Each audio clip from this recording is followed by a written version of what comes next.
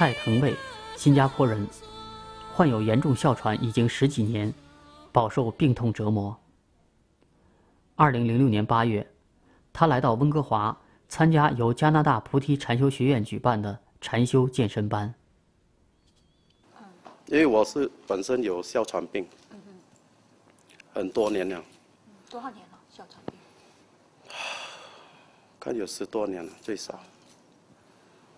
最怕的，我最怕我们哮喘病的人最怕，最怕的是生病的时候，如果有伤风感冒，就带喉咙痛、咳嗽。我咳嗽一来啊，咳嗽一来啊，我的哮喘一定来的，它连续一起来的。如果我我哮喘发作，我会咳两个月到三个月，早上咳到晚上。不停的不，可以吃到一点冷的东西或者一些寒的水果、寒的菜。一吃到呢，今晚我一定咳不停啊。那晚上是怎么样睡觉呢？人家是躺下来睡，我是要坐起来睡。那来到这边，我的背包啊，是带了满满的药。你你要什么药我都有。头三天来我一直吃药，因为我的咳一直来，一直一直咳不停啊，一直吃药，一直吃药。第四天，我跟我自己讲，我要试试看不要吃药，因为第四天我就感受到我的咳减少了。第八天晚上呢，我睡觉半夜的时候，忽然间很辛苦，我就要咳了，好像有东西在这边摇来摇去。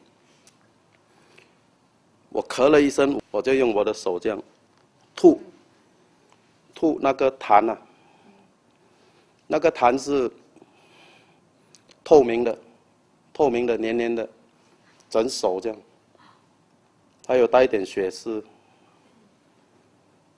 去厕所洗手、洗脸、洗漱口，我觉得没有事了，我又回去睡。回去睡多五分钟，又多一次，这样我是吐了两手的痰出来。吐完了呢，我就觉得哇，这边很松了，管道好像塞住了，以前塞住哦，现在好像通了。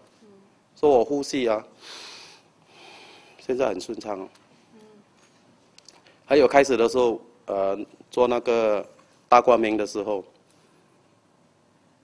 我们不是要手要这样放哦，不是我们要讲啊，对吗？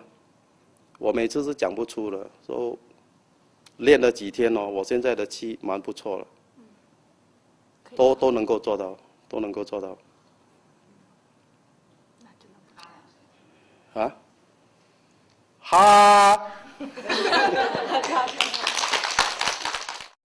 我要感谢呃我所有帮我的人包括上司，谢谢大家。